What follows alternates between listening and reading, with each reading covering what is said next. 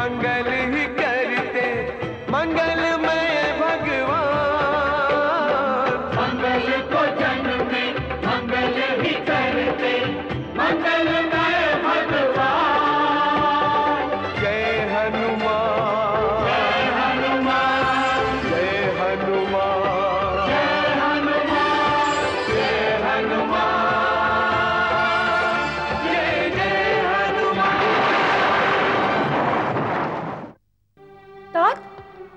के कसी क्या बात है? क्या हुआ? के कसी मेरी पुत्री तुम यहाँ कैसे? तात आपने इतने दिनों से अपनी बेटी की सुध नहीं ली इसीलिए मुझे यहाँ आना पड़ा। कैसी हो तुम? क्या रावण विभीषण और कुंभकर्ण की तपस्या सिद्ध हुई? नहीं और होगी भी नहीं। क्यों नहीं होगी? रावण जैसी कठोर तपस्या आज तक किसी राक्षस पुत्र ने की है? रामदेव को प्रसन्न करने के लिए रावण ने अपना मस्तक बार बार काटकर अग्निकुंड में झोंका है। परंतु वो दुष्ट वो दुष्ट उसकी तपस्या कभी पूर्ण नहीं होने देगा। तुम तुम किस दुष्ट की बात कर रही हो बेटी? कौन है वो दुष्ट केकसी वो दुष्ट है आपके जामाता विश्ववा ऋषि का बड़ा बेटा मेरे रावण का सौतेला भाई कुबेर। कुबेर? क्या कुबेर ने रावण की तपस्या में विघ्न डाला है? एक नहीं नहीं डाला था उसने एक दुष्ट वानर को भेजकर मेरे तीनों पुत्रों और शूर्पणखा को प्रताड़ित कराया। कितनी लज्जा की बात है। राक्षस कुल में जन्म लेकर तीनों ने एक साधारण वानर से मात खा ली। वो वानर साधारण नहीं है। शक्तिशाली और मायावी है। उसमें अपार बल है। वो इतना चंचल और चप्पल है कि कि किसी की पकड़ में ही नहीं आता। बस करो केकसी बस भी करो अब तुम्हारे मुँह से एक वानर की प्रशंसा शोभा नहीं देती। तुमने स्वयं वहाँ जाकर उस वानर का सामना क्यों नहीं किया? मैं अकेली क्या कर सकती थी तात मुझे आप लोगों का सहारा चाहिए। माली माल्यवान पृथ्वी और पाताल में छुपे दीनहीन और कायर राक्षसों को पुकार पुकार कर उनमें नया उत्साह भरने का समय अब आ गया है। यदि हम इसी तरह बैठे रहे तो राक्षस जाति का नाम लेने वाला भी कोई नहीं बचेगा। तात मैं जानती हूँ। तपस्या सफल होने पर अकेला मेरा रावण समस्त राक्षस विद्रोहियों को समाप्त कर देगा। परंतु परंतु उस कुबेर की नीच चालें उसकी सफलता के मार्ग में बाधाएँ बन रही है यही कहना चाहती हो ना तुम? कितनी लज्जा की बात है कि संकट के इस समय में भी हम रावण की कोई सहायता नहीं कर पा रहे हैं। अब लज्जा की नहीं साहस की आवश्यकता है। जिस बलवान दोहित्र को पाने के लिए आपने अपनी इस कन्या को वृद्ध विश्रवा के पास भेजा था उसे सहारा देने का समय आ गया है। चलिए तात चलिए मेरे साथ। चलो बेटी जो बात हमें कहनी चाहिए थी वो तुम कह रही हो। इसी बात का हमें दुख है। ये दुख मनाने का समय नहीं है भैया सोमाली कुछ करके दिखाना है। चलो भैया अब सोचने का समय नहीं कुछ करने का समय आ गया है। चलो। चलो बेटी।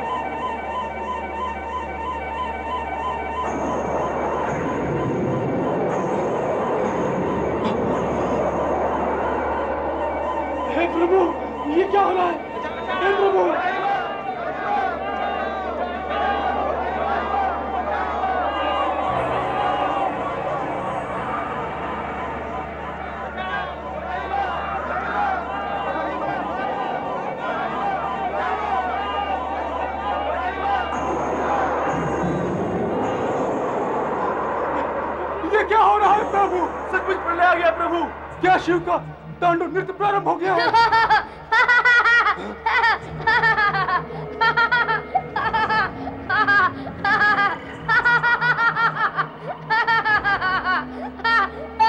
ये कौन दुष्ट हंस रहा है? सामने आओ। हम अभी तुझे शाप दे के भस्म कर देंगे। आप मुझे श्राप नहीं दे सकते गुरुजी। आपका श्राप मुझे नहीं लगेगा गुरुजी। गुरुजी कौन है ये? सामने क्यों नहीं आता? मैं सामने आऊँगा अवश्य आऊँगा गुरुजी। ऋषिवर मुझे लगता है ये कोई मायावी राक्षस है। हाँ जो बालक का रूप लेकर हमारे यहाँ उत्पात मचाने आया है। कहीं ये रावण तो नहीं। रावण। कहीं उसकी तपस्या सिद्ध तो नहीं हो गई। आप इतने ज्ञानी ध्यानी तपस्वी हैं फिर भी इस बात का अनुमान नहीं लगा सके।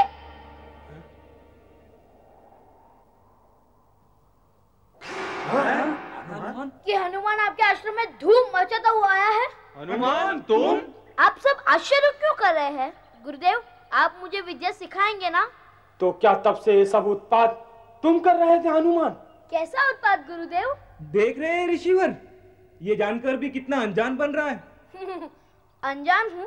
इसीलिए तो आपके पास ज्ञान प्राप्त करने आया हूँ। आप मुझे ज्ञान देंगे ना गुरुदेव? हनुमान तुम वानर राज केसरी के सुपुत्र हो। तुमने देवताओं से कई कई वरदान पाए हैं। तुम भगवान रुद्र के अंशावतार भी हो। गुरुदेव जब आप समझ रहे हैं कि ये सब उत्पात मैंने किया है तो फिर आप मेरी इतनी प्रशंसा क्यों कर रहे हैं? ये सब उत्पात तुम पर शोभा नहीं देते।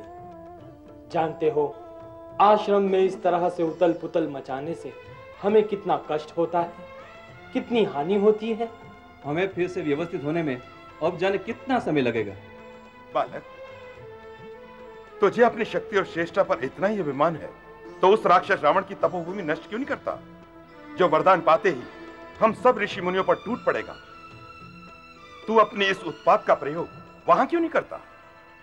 गुरुदेव मैं एक बार उधर जा चुका हूँ। मैंने रावण की तपस्या भंग भी कर दी है। अब वो नए सिरे से तपस्या प्रारंभ कर रहा है। अब वो दुगने उत्साह से तपस्या कर रहा है। अब उसकी तपस्या सिद्ध होने को है। यदि हम ऋषियों की भलाई चाहता है तो जा और जाकर वहाँ अपना चमत्कार दिखा जाओ क्या गुरुदेव? आयुष्मान भव।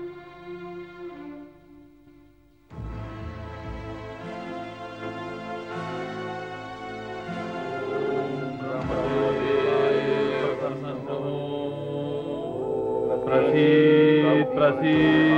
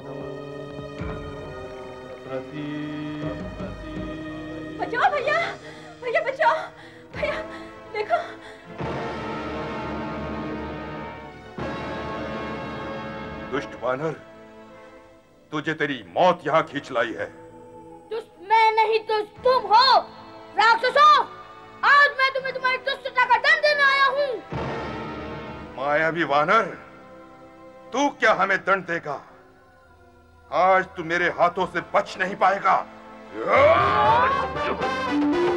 बचाओ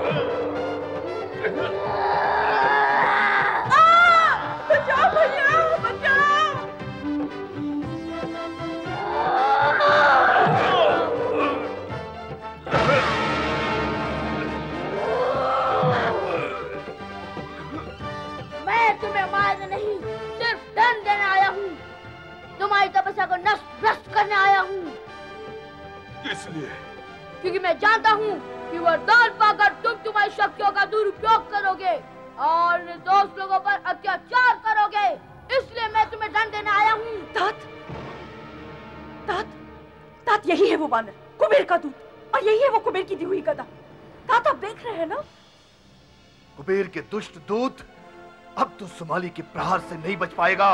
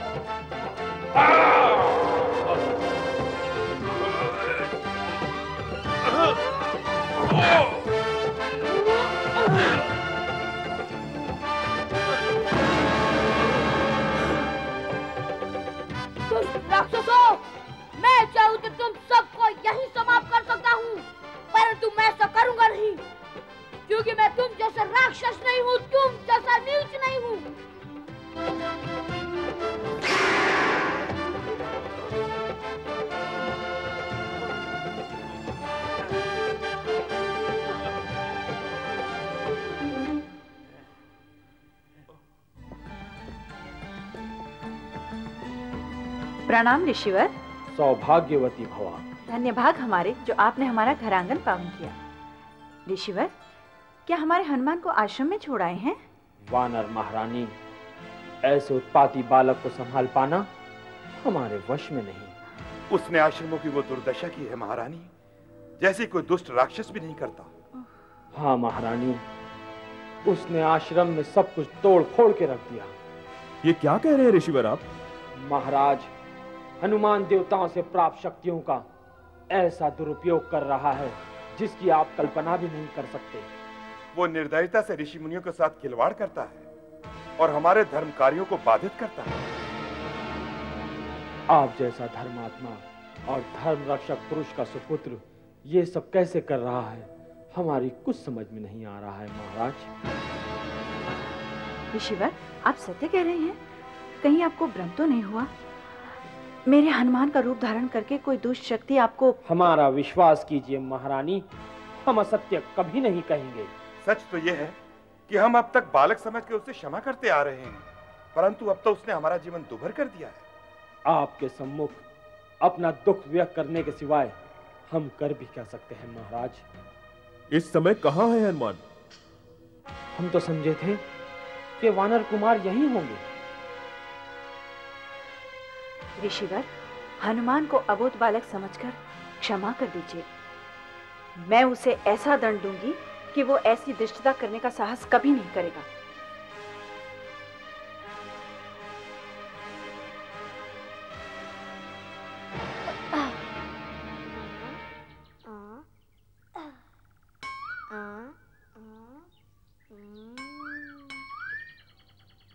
ऋषिवर हम महामंत्री जी से कहकर के आपके आश्रमों का निर्माण फिर से करवाएँगे। आप निश्चिंत रहें ऋषिवर।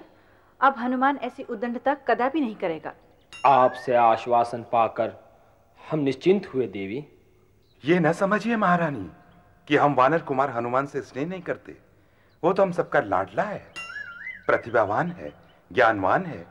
परंतु यदि महाराज महारानी सब समझते हैं ऋषिवर। अब और कुछ कहना उचित नहीं। अब हमें आज्ञा दीजिए महाराज। आज्ञा है ऋषि सदा सुखी रहो।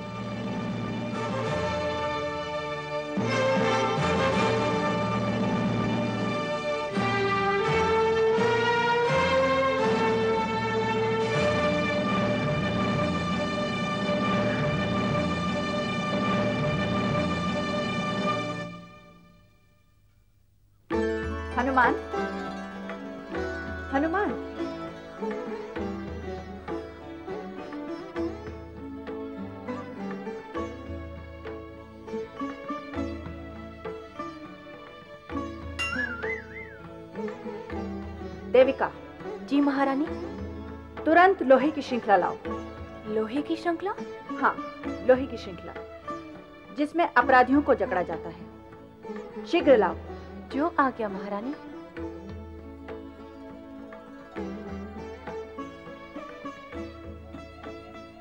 हनुमान।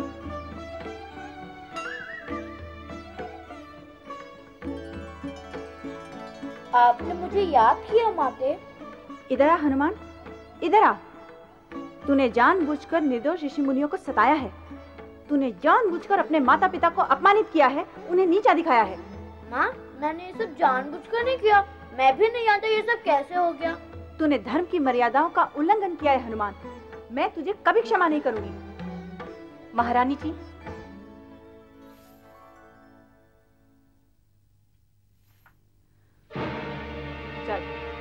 माते चल ये क्या कर रही हो? चलो चुपचाप, सीधे खड़े रहो यहाँ पर। बांधो इसे।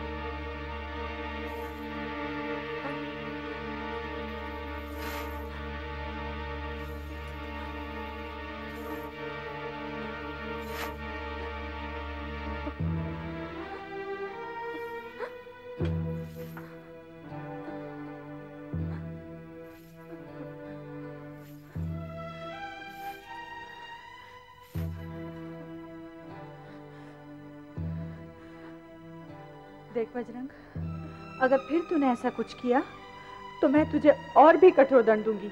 मैं सोच कह रहा हूँ माँ अब मैं ऐसा नहीं करूँगा। अब मैं कुछ नहीं सुनूँगी बजरंग कुछ नहीं। बस रात दिन तुझे इसी तरह बंधे रहना होगा। फिर ना तुझे भोजन मिलेगा ना पानी।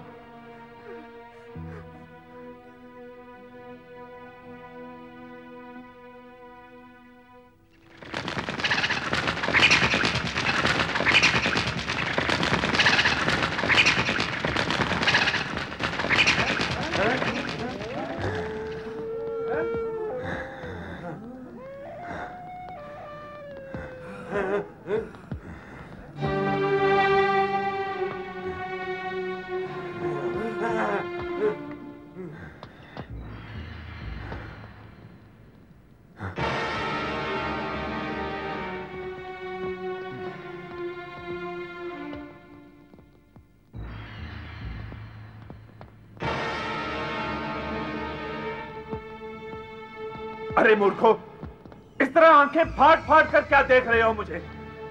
राक्षस राज आपको आपको तो आपको तो वानर राज केसरी ने। क्या बकते हो? आपको तो केसरी ने मुझको केसरी ने क्या किया बताओ? और पहले ये बताओ ये केसरी है कौन? मूर्खो एक दूसरे की ओर क्या देख रहे हो? मुझको देखो तुम साधन को देखो। राक्षस राज अमर होने के बाद आप अपना नाम भी भूल गए। आपका नाम कुंभ साधन नहीं शंभ साधन है। हम तो समझे थे उस दुष्ट केसरी ने आपको मौत की घाट उतार दिया। परंतु आप तो जीवित लौट आए। जब आप एक बार नहीं मर सकते तो हज़ार बार भी नहीं मर सकते।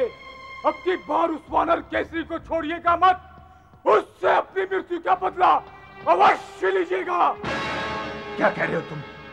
मेरी तो कुछ समझ में नहीं आ रहा। राक्षस राज याद कीजिए उस क्षण को जब आपसे केसरी पहली बार भिड़ा था और आप भाग निकले थे। क्या बक रहे हो तुम? मैं कभी भाग नहीं सकता। कोई मुझे मार नहीं सकता।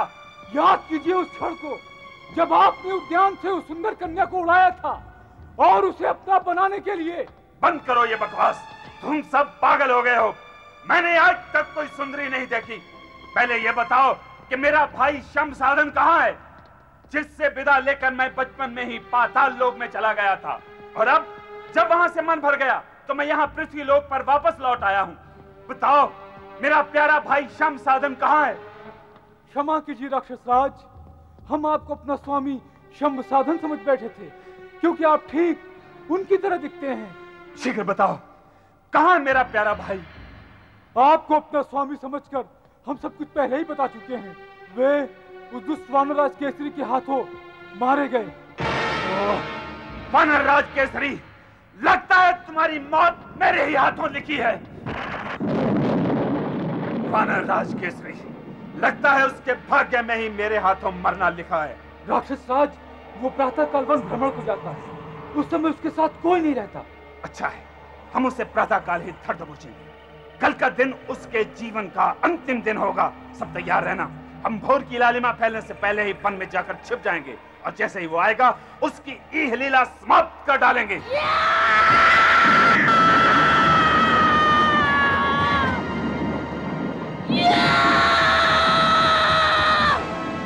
राक्षस राज वो वानर राज केसरी प्रातःकाल अकेला वन भ्रमण को जाता है। उस समय उसके साथ वहाँ कोई नहीं रहता। तो कल का दिन उसके जीवन का अंतिम दिन होगा।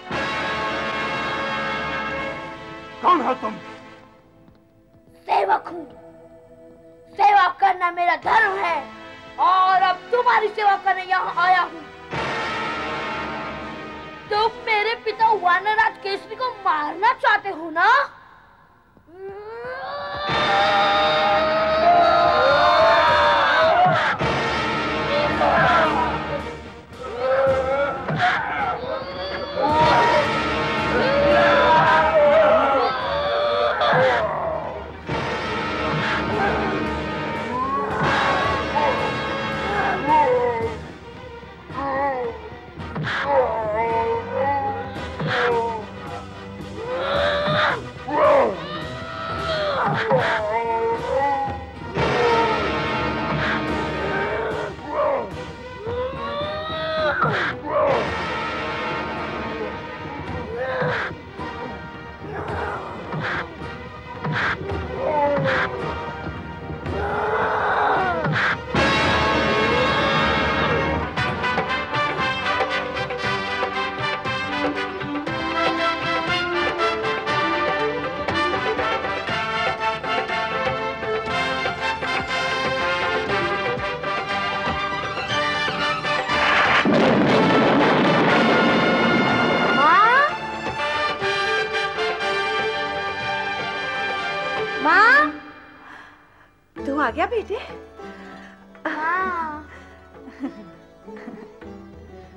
का वध करके तूने अपने माता पिता का गौरव बढ़ाया है। माँ यदि वो दुष्ट कुम साधन जीवित रहता तो न जाने क्या क्या उत्पाद कर बैठता। न जाने कितने निर्दोष लोगों को कष्ट पहुंचाता। उससे कैसे जीवित छोड़ देता माँ? तू बहुत थक गया होगा बेटे। आ अपनी माँ की गोद में आ जा। नहीं माँ मैं कभी थकता नहीं। तुम मेरी चिंता ना करो। कैसे ना करूँ भला? माँ जो हूँ तेरी। भूख लगी है? कुछ खाएगा? नहीं माँ भूख तो तभी लगेगी जब भोजन सामने आएगा। तू कल से भूखा प्यासा है पुत्र। और तुझे सांकल से बांधकर अब भी पछता रही हूँ मैं। तूने भी हट में आकर कल से कुछ नहीं खाया। माँ तुमने साकल से बांधकर ठीक ही किया वरना उस बीच मैं अंगवान गुरु जी के आश्रम में जाकर न जाने क्या क्या कर बैठता। माँ तुम कुछ कहना चाहती हो? हाँ पुत्र। तू अपना ये नटखटपन छोड़ क्यों नहीं देता? ऋषि मुनि तेरे गुरुजन है पुत्र और उन्हें सताना अपराध है। अपराध? माँ अपराध क्या होता है? अपराध? किसी के प्रति किया गया बुरा काम अपराध कहलाता है पुत्र। परंतु माँ मैंने तो कोई बुरा काम नहीं किया। हाँ हंस उपहास कोई बुरा काम तो नहीं है माँ? जब अपने नटखटपन पर किसी को उछलते हुए देखता हूँ तो मुझे बड़ा आनंद आता है माँ। परंतु किसी को कष्ट पहुंचाकर आनंद उठाना अच्छी बात नहीं है पुत्र। क्या करूँ माँ? मेरा एक मन कह रहा है कि अच्छी बात नहीं है और दूसरा मन कह रहा है कि बुरी भी बात नहीं है।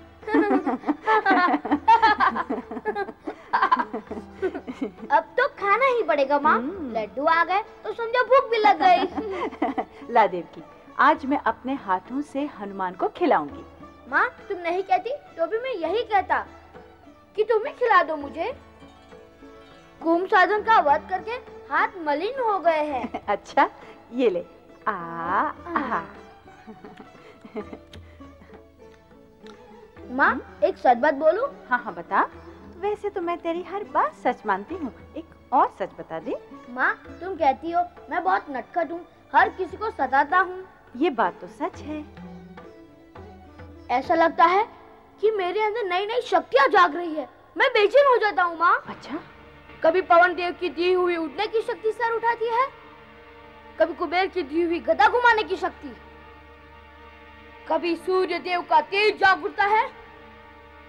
तो कभी यमदेव की दी हुई मारक शक्ति? मैं क्या करूँ माँ? ये शक्तियाँ मुझे चैन लेने नहीं देती। अब मैं समझ गई बेटे सब कुछ समझ गई। मैं ना तुझे दोषी मानती हूँ ना तेरी शक्तियों को। तो जैसे असाधारण पुत्र की माता होने पर मुझे गर्व है।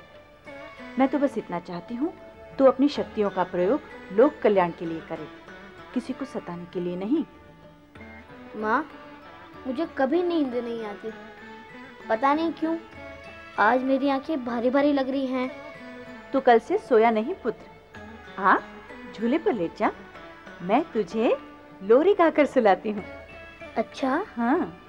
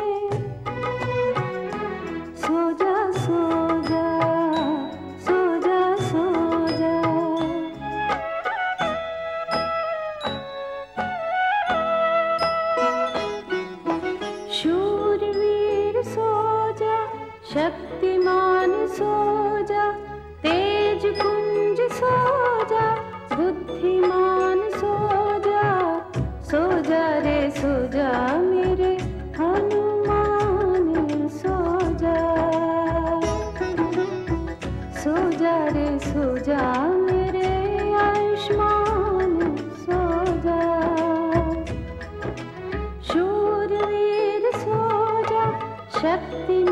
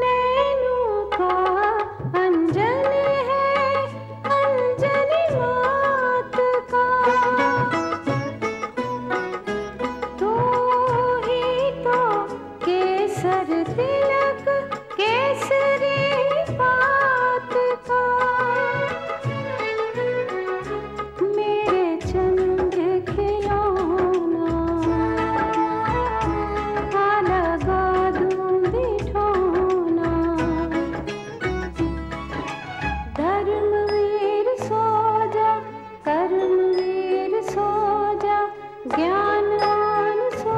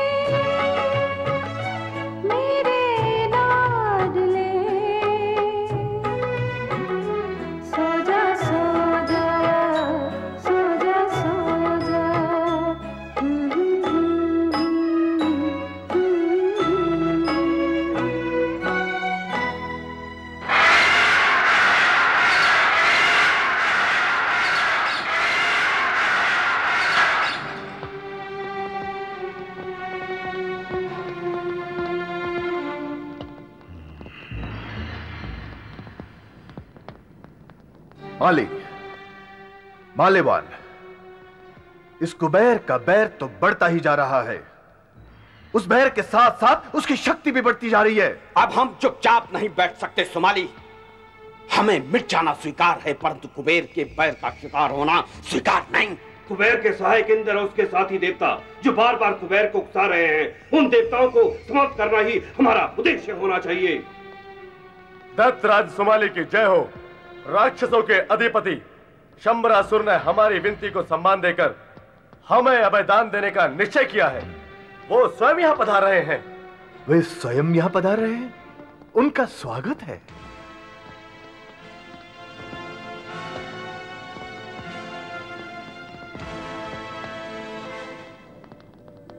राक्षसों के आदरणीय वीरवर शंबरासुर की जय जय हो। जय हो। सुमाली माली माल्यवान हमें यहाँ आने का सम्मान देकर तुमने हमारा बल दुगना कर दिया है। युगों के पश्चात एक राक्षस वीर को अपने सामने देखकर हमें कितनी प्रसन्नता हुई ये हम बता नहीं सकते। वीरवर अब आप ही हमें संकट से निकाल सकते हैं। तुम्हारे दूत कुरंजन ने हमें विस्तार से बता दिया है कि कुबेर देवताओं का प्रोत्साहन पाकर नीचता पर उतर आया है। और एक बानर के बच्चे को हमें सताने के लिए साधन बना रहा है। इस बैर का प्रतिशोध लेने का एक ही उपाय है देवताओं पर आक्रमण। देवताओं पर आक्रमण? परंतु वीरवर इस समय हमारी शक्ति छीन हो गई है। राक्षस यत्र तत्र बिखर गए हैं। वो बिखर गए हैं तो उन्हें एकत्रित करना हमारा काम है। तुम्हारी वाणी में वो शक्ति है कि तुम्हारी एक ही पुकार पर पृथ्वी और पाताल के कोने कोने में छिपे हुए राक्षस निकलकर बाहर आ जाएँगे। और अपनी आन और सम्मान को फिर से पाने के लिए अपने प्राणों पर खेल जाएँगे। आप सत्य कह रहे हैं वीरवर। ठंडी नसों में बहने वाला हमारा रक्त बाहर निकलने के लिए छटपटा रहा है। हम अपना सम्मान प्राप्त करने के लिए रक्त की नदियाँ बहा देंगे। दत्त गुरु शुक्राचार्य को भी तुमने ये संदेश अवश्य पहुँचाया होगा जो हमें पहुँचाया है। क्या कहा उन्होंने? उन्होंने कहलवाया है कि अभी कुछ समय और चुपचाप बैठे रहो। अब जो करना है हमारा नाती रावण करेगा। वही नाती जो ब्रह्मा को प्रसन्न करने के लिए अपना सिर काट काट कर अग्नि में झोंक रहा है। हाँ वीरवर वही। दैत्य गुरु शुक्राचार्य ने कहा है कि वो अवश्य अपनी तपस्या में सफल होगा। तुम प्रतीक्षा करो। दैत्य गुरु जो चाहे कहें यदि हम छुप छुप कर प्रतीक्षा करते रहेंगे तो राक्षस राक्षस नहीं रहेंगे।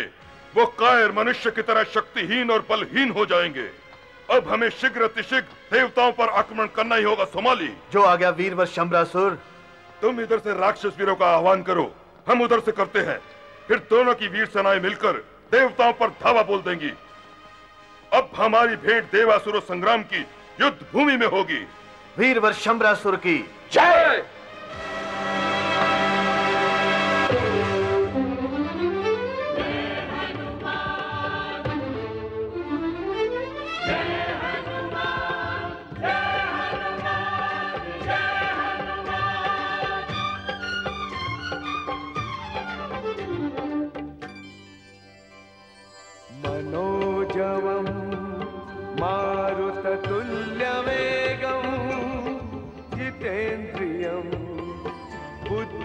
बुद्धिमतां वरिष्ठं वातात्मजं वानरयूथमुख्यम् श्रीरामदूतं शरणं प्रपद्ये। श्रीरामदूतं